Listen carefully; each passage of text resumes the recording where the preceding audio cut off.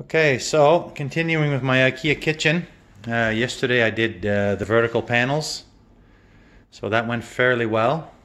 Uh, today what I'm doing is I'm just kind of trying to size up the island and just trying to get everything sort of uh, semi-lined up here.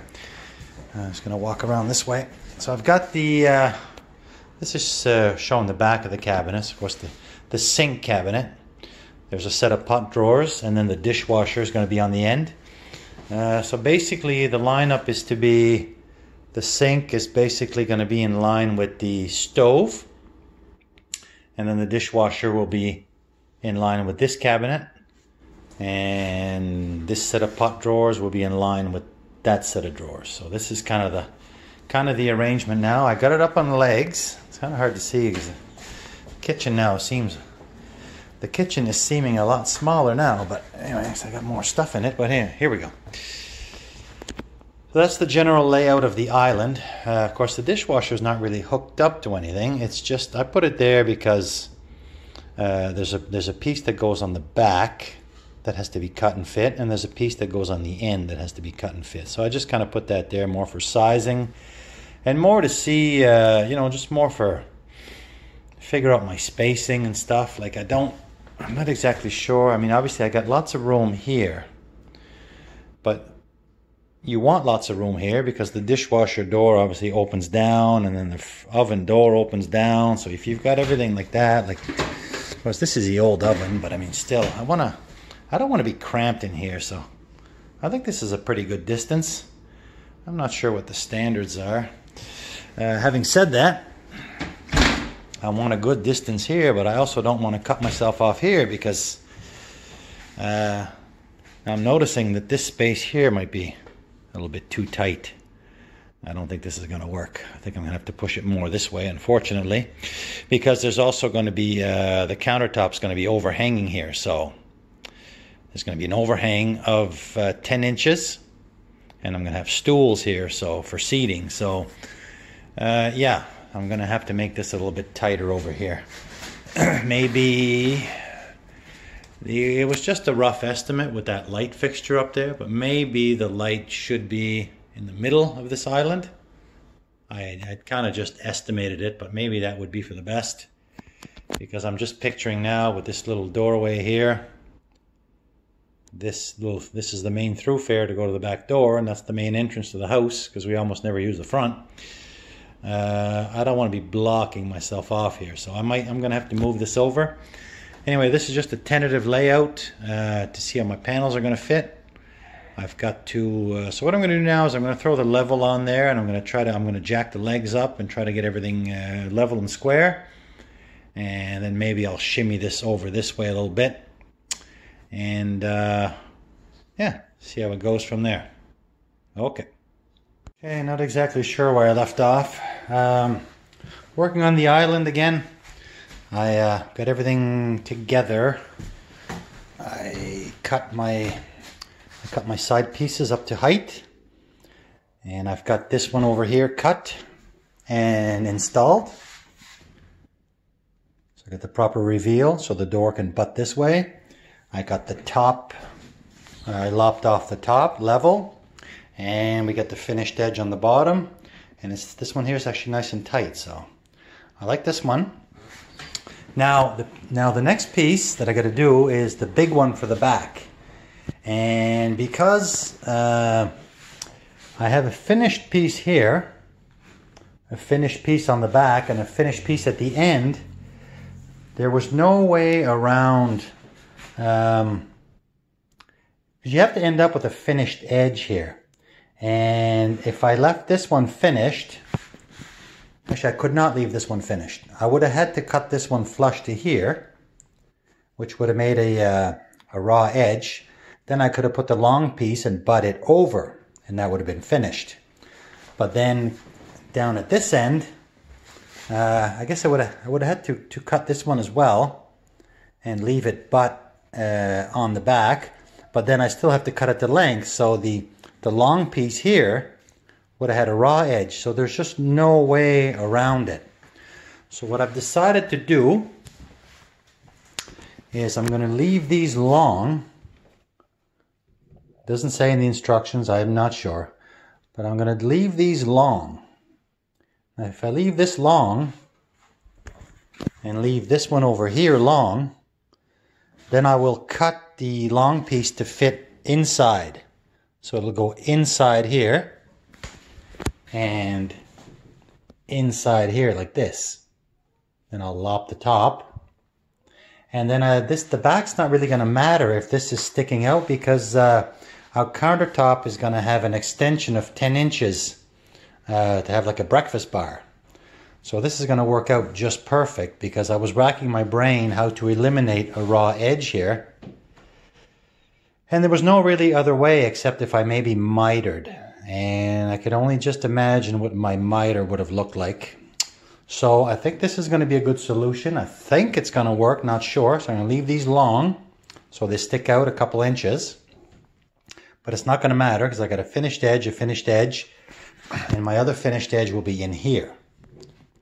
Excuse me. So I'm thinking this should work out. Now the next step I'm on to now, and what I don't really understand is how to attach the large piece on the back. Um, I'm not sure how you attach it to this. Obviously this is going to have to go because we're not using a rail. And these flimsy backs, you can't do anything with these because they're paper thin. So um, and then obviously this is going to have to sort of hover, hover as it comes along, and then attach to this end. And I have no idea right now how I'm going to do that. Now in the kit there is one item that I have not used yet, and it's I'm thinking that probably is what it's going to be used for. I don't know, I'm guessing right now, but I got these strips here. I've got these kind of like an MDF strip with a bunch of holes. So I'm almost wondering if if you use these maybe as, as a back support with angle brackets. Uh, these little kits are these ones here. It's this and it comes with angle brackets so I maybe that's something to do with that. I'm not sure. I'm going to investigate that. But the island is taking shape uh, in the beginning, I you know I, th I thought I had a cabinet missing. I thought I was missing a box, but I'm not. The uh, dishwasher kind of the dishwasher kind of is just freestanding, and obviously you have to somewhat form the box around it, and then the countertop sits on top. Uh, the company doing the countertop is uh, separate. It's not IKEA, but I ordered all my uh, my countertops through them. So once uh, once my boxes are in and I feel that they're level and secure, those ones are. I'm working on this one right now. Then I can call them and hopefully they can come in and uh, they're going to do a final uh, measurement and then they're going to cut and bring the stuff and install it. So I, I got the, I chose to go with the quartz counters. It was a little bit more, but uh, in the price of the quartz, it includes delivery, installation, and they will even cut out the hole and mount the undermounted sink and the tap. So uh, the counters were not exactly cheap. They were about 3500 but the regular uh, melamine counter would have been would have been in the 2000 range anyway. So this way here, I'm paying a little bit more, but I'm getting the quartz and it includes all of their labor. So uh, my job here is just to prepare this, and then after that, it'll be in their hands. And then, of course, after that, I'm going to be responsible for running the new plumbing. But like I talked about before, that'll come from downstairs. I'm just to drill some holes in here. Down the road at some point, I'm to have a hot and cold and a, drain. Um, that's all to be down the basement. The basement's unfinished, so it's not an issue. Uh, so that's where I'm at with this island. My dilemma now is how to attach all this together. Basically this back piece, I have to measure and cut the back piece. That's my last large strip and somehow attach it to this corner. I have no clue right now, but I'm going to figure that out. Okay.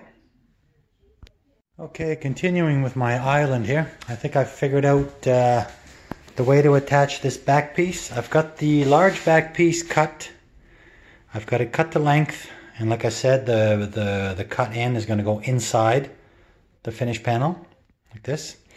But there was no way to attach the back. And I just talked about this, uh, it was basically like this. So how are you supposed to attach this on here?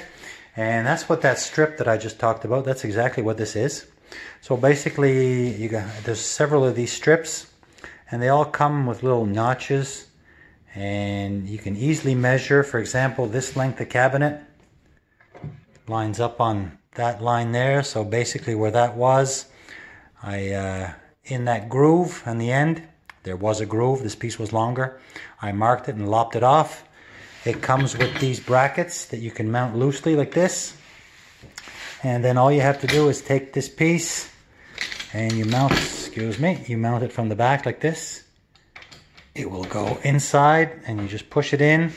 And then once, once it lines up here, you'll be able to make the fasteners on this end. And that's what gives the backing for, uh, for this larger finished piece of trim. So I've got one done here. Uh, why is this so damn blurry? There we go. So there's one piece in. I said, cut it to length. Mount the hardware first and then bring it inside and fasten it.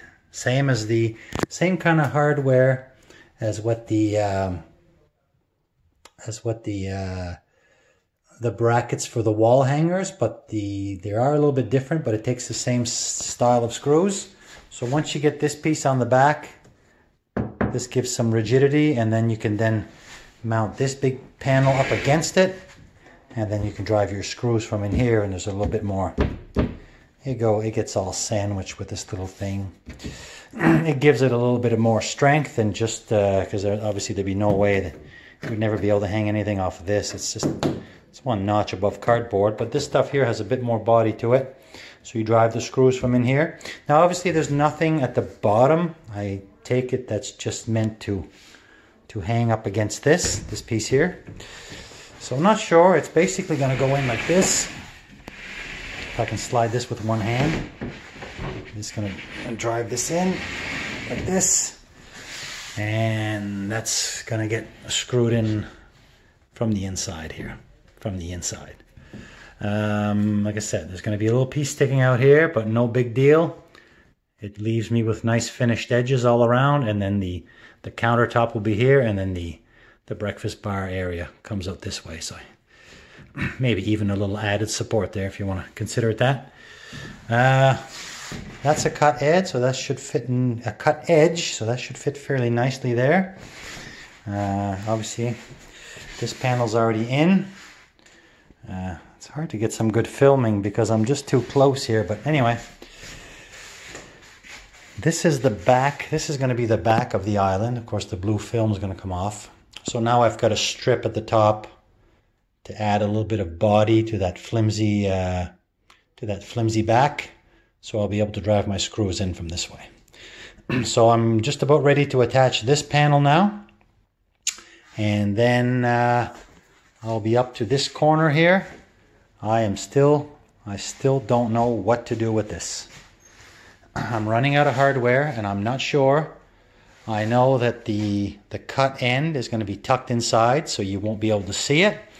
It's not a perfect cut, but it's the best I could do. Um, once that's in there, worst case, I could run a bead of a little bead of caulking there in that inside corner. No one's ever going to know the difference. Um, once I figure out how to attach this corner, I'm going to make an update. Uh, for now, I think I'm good to go ahead and start fastening this one. I gotta. I'll put that. I'll put this rail in. This rail will go in the sink cabinet back here and then I will install this one. Uh, I'm not sure how or if there's any way to fasten the end. Obviously, I do have a brad nailer, but I am not interested in going like this because that'll make some dents and divots that I don't want. Uh, okay in an area that would be concealed, but this is a finished edge, so maybe that's all that's required is, is this. So, through here through this layer and it's going to bite into the, the back piece. okay, I will fasten this back piece And the next time I do a little bit of filming, hopefully I will have figured out how to put this corner together. Okay. Okay, continuing with the IKEA kitchen. We got the uh, I got the back all boxed in. I got the side piece in. Right now my trusty assistant Gabby. Say hello, Gabby. Hello. He's peeling all this blue film. She's been wanting to do this, so I thought I'll let her do it. Um, she's peeling all the blue protective film. Um, like I said, I struggled with this one. This is the, uh, it's really not a cabinet. Like I said before, it's the opening for the dishwasher. I really don't know if I did this right. I could not find any information. So basically, the only thing holding the dishwasher in is the back finish piece. Oh, that's noisy. And then this side, fin- uh, this side finish piece. There's no cabinet for this. So I just used some of these uh, reinforcement brackets. Uh, I don't know if this is right. I just kind of made a little stiffener in the back with a couple of angle brackets. I put one down here as well. So basically this end panel is really, is really, if you see my hand here, it's really is not, I don't know. I, I don't know. This is probably not right. I don't know. I don't know if this is going to be strong enough to hold a. I don't know at this point what holds the slab of stone. I really don't. I know it basically sits on here, but at this point, this is supposed to be just finishing edge. And there's nothing left in the kit. Like I said, there was a couple of mistakes in my kit. I got an extra drawer piece and I'm missing hinges, but anyway, I came up with this. The opening is to be 24 for a standard dishwasher. I made it 24 and a half, so we'll have a little fudge factor on each edge. I thought it might be wise since the floors are so uneven if I have to jack either way. I didn't want the opening to become too tight. Uh, for example, my stove, I made uh, 30 on the money. And as you can see, 30 and 30, there's really not, you know, there's basically no room. So yes, it's a nice tight fit. That's what you're supposed to have. But when I get my new stove in, I'm going to want to level and move it around so that it's perfectly level like these boxes. So uh, I don't know. This might be a little bit problematic. If I'm trying to reef on one side, for example, it might rub on another or... Anyway, I'm not sure. This is done for now. Everything is done. I'm just getting ready to. Uh, I'm just getting ready to call. I'm gonna call the stone people when I go back to work. They're gonna come in and they're gonna do a final. Uh, they're gonna do a final measurement. I hope it's not an issue because I've already paid for the stone, and I've now made this opening a half inch bigger. So my entire island is a little bit bigger than what the plan says. Hopefully that's not an issue, and that's kind of why the stone is not cut ahead of time. Uh, the stone is measured and paid for, but they will come and do a final inspection before. They'll come and measure before they come with the actual stone. Uh, another thing I have to do as well is I've got the entire kitchen on these uh, plastic legs. And obviously the plastic legs are fantastic to jack everything up, uh, but I don't think they're strong enough. So we're going to be going underneath and uh, I'm going to be adding some wooden members under there. And according to my little plan, which I have a plan over, if I didn't lose it, is it this one? I don't think it's, yes, it's this one. This represents the boxes and you can see how you put them up on the plastic feet but then underneath they show the patterns on what this so this basically is my arrangement. I got three boxes sort of or well at least two boxes so I'm gonna have a two by four or whatever here here and a couple transverse just to help uh, distribute and support the load. Uh, the plastic legs are fantastic for um, leveling and holding things up, but you do need uh, some wooden members underneath. Now, uh, The pieces, like I mentioned before, the wooden pieces that go underneath, I believe are three and a half. That's them right here. And they are, yes, they are three and a half. So I went and jacked my legs up uh, to four and a half because that's what the plan called for when I installed, uh, when I started with the pantries. They, they indicated to set your legs when I, uh, those pantries back here, they said to set the legs at four and a half. And I guess you don't need the wood on those ones because they're hanging. But anyway, because I've gone symmetrical all around, I got to maintain that. So everything that I've done is going to be about an inch, almost an inch taller. And I'm okay with that because I'm six foot one, almost six foot two, and I hate being crouched over to do stuff. So my counters are going to be about an inch taller than what I guess the standard is. There is a bit of a range in there. So I thought I'd rather be a little bit taller than shorter. And uh, uh, like for example, the stove, uh, if my counters were too high, the legs can just be jacked up. That's not a problem. And the dishwasher goes underneath. That's not a problem. If there's a little gap around the problem, uh, sorry, if there's a little gap around the dishwasher, well, we can either live with that or add a filler strip or adjust the legs. Uh, for now, this is what I'm going with. The kitchen is 100% together. Uh, still no hinges. I tried to go to my local hardware store yesterday, but it was Sunday. They were closed. So I'm going to try again today. If I could score some hinges, I can have all these doors installed. And uh, I'm going to do the lumber underneath to stiffen this island up. I'm also going to do the lumber uh, down the line uh, for this bench seat to stiffen that up. But for the most part, this kitchen is together. I've only got uh, two more days before I go back to my real job. So I'm happy with the progress. Uh, obviously, we're not going to have a sink or running water or anything like that until the quartz uh, people show up. But uh, that's okay. I'm happy with the progress and I'm happy with the kitchen. And uh, so yeah, so now we're just going to, we're to peel off some of this blue stuff see what we get and uh, we might try to go uh, on the hunt again today for some uh, hinges. Okay, that's all for now. Continuing on with the IKEA kitchen island. So my last video I had pretty much the island together. Uh, just a bit of a repeat now, but anyway. Island is together. All the blue has been peeled. That's what it's going to look like.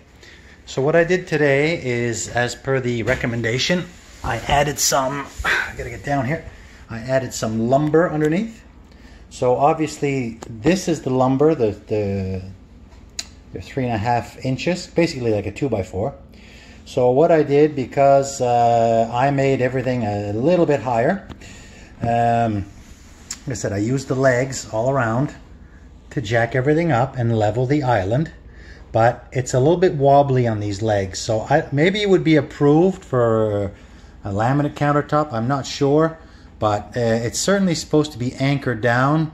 Um, well, I think, I don't know if it matters what countertop you get. I'm getting quartz, so it's going to be heavy. And there's also going to be, there's going to be plumbing and electrical coming in this island. So there can basically be no movement. So uh, I've added the, uh, the lumber that was included in the kit basically a 2x4, but I've added little strips of one inch basically.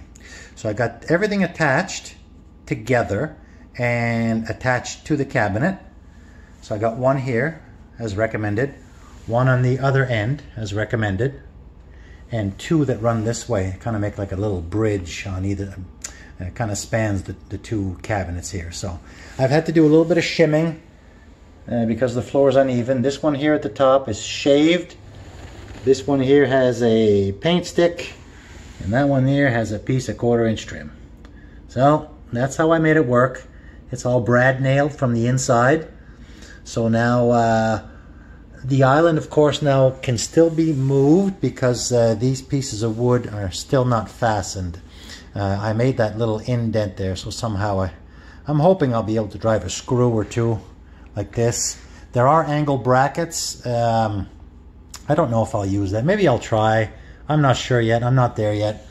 This is what I got done so far. The island is much sturdier with the lumber.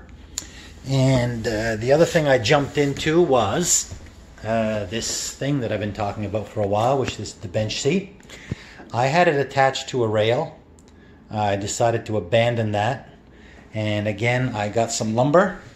I used my own 2x4s and I jacked this up. So I used uh, some lumber this way. Um, one over here, one over here. I may end up doing a center one.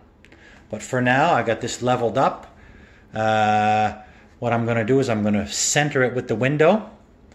I found this, I finally figured out what this little piece is going to be for. And what this is going to be for is going to be for the sides. So I'm going to slice this piece down the middle. So there's going to be a finished edge, a finished face here, and a finished face here. A little bit of a waste, but anyway, it's to finish off the doors. And then I do have one piece that I'm going to slice, another, my last, very last piece I'm going to slice and I'm going to lay on top. And that's going to be the uh, that's going to be the finished bench seat. Of course, the doors are going to go on. I will add another center support. And once uh, my side pieces are on, side pieces, top piece, I'll obviously, this will, there'll be a requirement here for filler, filler and toe kick. So I've talked a lot about filler. I haven't done one single one yet. This is the IKEA kitchen. Uh, right now, still kind of, I'm going to call this one the island. And uh, I don't know if you can see, I did a little owie over here. Try not to do this on yours. I don't even know if you can see it. The screw, I screwed from the inside. There's a little tiny peak there because I went a little bit too deep with the screw. Uh, yeah, so you want to try to avoid that. That's really my only my only visible thing, but the uh, the breakfast bar will hang over here, so I don't think that'll ever be seen, but just something to keep in mind. Uh, so yeah, progress is good. It's slow. Um, this is what I'm doing now. Island somewhat, somewhat secured. And the window seat now, I think I'm going to slice the two side pieces, attach them, maybe lay the top, and I think I'm going to call it a day. I got a few things left to do. Um, yeah, IKEA kitchen install going fairly well. Okay, so this is going to be the last video on the kitchen for a couple of weeks. Uh, I'm going back to my real job, my marine job. Um, yeah, so I'll be gone for two weeks. So this is uh, this is how far I got with the kitchen. Uh, ha I'm happy with the progress. Excuse the jumping around. I'm happy with the progress. Come a long way. Uh, I was a little bit slow going.